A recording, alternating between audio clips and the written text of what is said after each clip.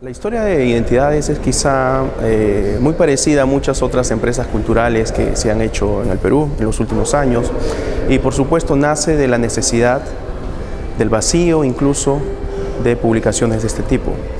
El contexto eh, es especialmente muy interesante porque eh, fue el comienzo de los 2000, salíamos de, una, de un proceso dictatorial de unos 10 años, en donde eh, hubo un empobrecimiento, si se quiere, de eh, la oferta cultural que había desde la prensa. Entonces, Identidades surge como una suerte de propuesta, pero no solo para llenar el vacío, sino también para eh, quizá evaluar o reevaluar la función de la cultura en este momento de, si se quiere, primavera democrática que empezamos a vivir. Digamos los referentes, en este caso para identidades, fueron referentes más internacionales, si se quiere, ¿no? Eh, los 2000, el comienzo de los 2000, estamos viviendo una época de múltiples, eh, digamos, de, mayor acceso a, eh, publicaciones de otros países, ¿verdad? tenemos el Internet ya, tenemos eh, acceso online a publicaciones como Babelia, como, como eh, The New York Times o bueno, eh, The New Yorker, ¿no? Entonces tuvimos más referentes extranjeros que peruanos, digamos, en, en términos de, del tipo de ah, publicación que queríamos hacer. Pero por supuesto, en términos del contenido, eh, hay una relación muy, muy, muy, muy cercana a publicaciones anteriores, como, como bien mencionas, El Caballo Rojo, como eh, incluso, eh, bueno, el mismo Hueso Húmero que se hacía entonces, ¿no? la revista de crítica que ya estaba, había generado desde algunos años antes un, cierto magisterio ¿no? en, cuanto a la manera en que se eh, digamos, se podía uno acercar a la difusión de la cultura. Identidades es el, suplemento cultural del El Peruano, ¿no? durante 2001, fin de 2001 y 2006, ¿verdad? Y es básicamente el gobierno de eh, Alejandro Toledo, es decir, es, eh, es su administración, ¿no? bajo, bajo su administración que se dan las condiciones para una publicación como esta. Ahora, el hecho de que haya estado en el diario El Peruano tiene sus ventajas y sus desventajas, eh, como se podrá eh, ver.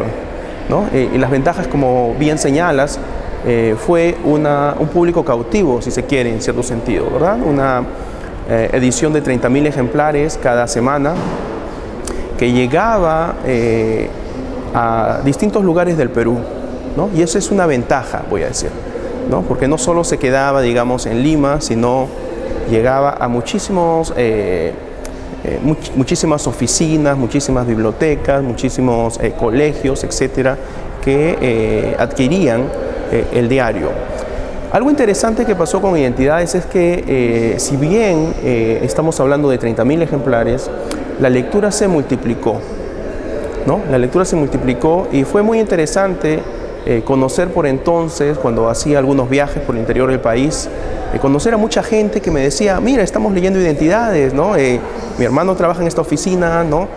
Se trae, se trae el suplemento y acá lo comparto con mis amigos, empezó a circular incluso en escuelas, en escuelas secundarias.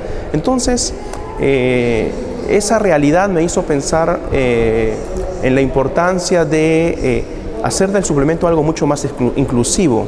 ¿no? Y quizás los primeros números son números un poco más, eh, si se quiere, eh, limeñamente centrados. ¿no? A partir del, número 10 en adelante, la revista se empieza a poner una, o el suplemento, se vuelve un suplemento mucho más eh, descentralizado, ¿no? tenemos una preocupación por integrar no solo temas de provincia, sino desarrollar temáticas que sean de interés, no solo limeño. Yo, yo, creo, yo creo que ahí está la diferencia central entre, digamos, lo que era identidades y lo que después será etiqueta negra, ¿verdad? Será una revista más, si se quiere, direccionada a las clases medias, pero no solo del Perú, sino de América Latina en general, ¿no? Y por eso es que eh, Etiqueta Negra es ahora un referente eh, del eh, periodismo escrito. Para, para, América Latina. Yo creo que Identidades ofreció un modelo para el periodismo cultural al comienzo de los 2000, ¿verdad?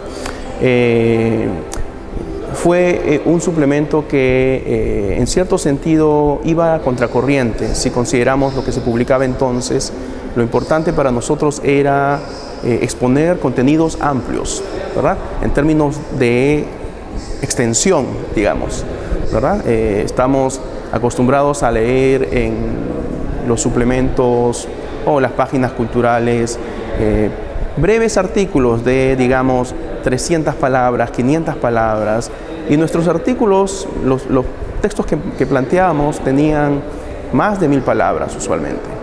¿no? Entonces eso era un reto, ¿no? Y era un reto en el sentido de que había que eh, a veces eh, discutir, muchas veces, con la gente que estaba sobre nosotros, ¿verdad? ¿Cómo justificar un texto de lectura? Y precisamente está ahí el punto, ¿no?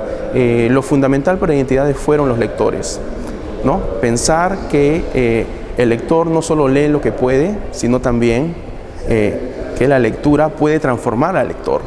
¿no? Entonces, ese carácter potencial de la lectura eh, creo que se expresa en el suplemento, en la manera en que se trabaja la imagen, ¿no? la diagramación, los espacios en blancos como espacios de descanso, como espacios de meditación para el lector, ¿verdad? Entonces, en ese sentido, creo que hay un modelo eh, en relación a lo que se hacía entonces, ¿verdad? Ahora, otro elemento fundamental de identidades es eh, la orientación. Es, fue, se planteó como un suplemento peruanista, ¿verdad? Pero es un peruanismo, si se quiere, global o globalizado. ¿no? Para, el término, por supuesto, tiene muchos problemas, pero es un peruanismo, si se quiere, internacional, ¿verdad? Eh, intentando pensar eh, los procesos culturales peruanos eh, no, eh, digamos, de espaldas a lo que ocurría en el mundo, sino como integrados y, en cierto sentido, pensándolo como un espacio de propuesta desde el Perú para eh, otras latitudes.